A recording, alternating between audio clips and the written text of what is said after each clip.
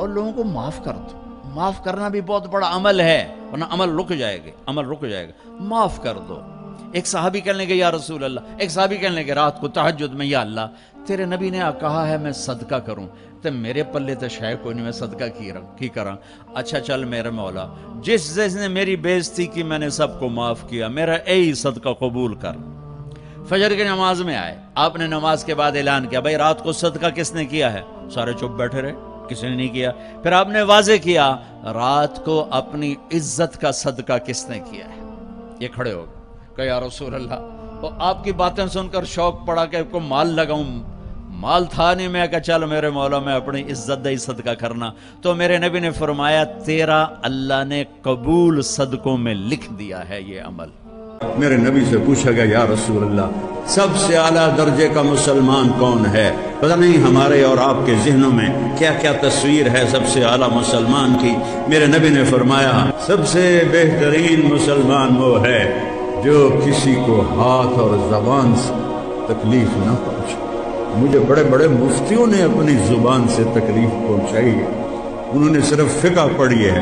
उन्होंने ये हदीस नहीं पढ़ी कि आला दर्जे का मुसलमान वो होता है जो किसी को अपनी ज़ुबान से दुख न जख्मी दिल को और जख्मी कर, फटे हुए गरेबान को और चाक करना इस इनको मुफ्ती कहते हैं। मेरे नबी ने फरमाया, मैं जन्नत में गया, मुझे कुरान की तिलावत सुनाई दी। मैंने पूछा, ये कौन तिलावत कर रहा है? मुझे कहा गया, हारिसा बिन नोमान। तो आपने फरमाया हारिसा तो अभी मरा नहीं, मदीने में बैठा हुआ है। तो ये छोटे से मजमे को कितना बड़ा माइक आवाज़ पहुँचा रहा है। ये माइक हटा दो तो मेरी आवाज़ तीसरी लाइन से आगे नहीं जाएगी। और ये क्या स्पीकर है हारसा बिन नोमान के पास कि मदीने में कुरान पढ़ा और सात आसमान को चीर कर उसकी आवाज़ जन्नत में चली गई। क्या है? फरिश्तों से पूछा, क्या है? मेरे नबी ने फरमाया, क्या है? ये कैसे हो गया? उसकी आवाज़ जन्नत में क्यों आ रही है? तो फरिश्तों ने कहा, या रसूल अल्लाह माँ की ऐसी खिदमत की है कि अल्लाह ने खुश होकर हुक्म दिया है ये जब कुरान पढ़े, सारी जन्नत को सुनाओ। सारी जन्नत को सुनाओ। जब अल्लाह बुलाएगा ना भाई, इल्म वाले आ जाओ तो बड़ा मजमा होगा।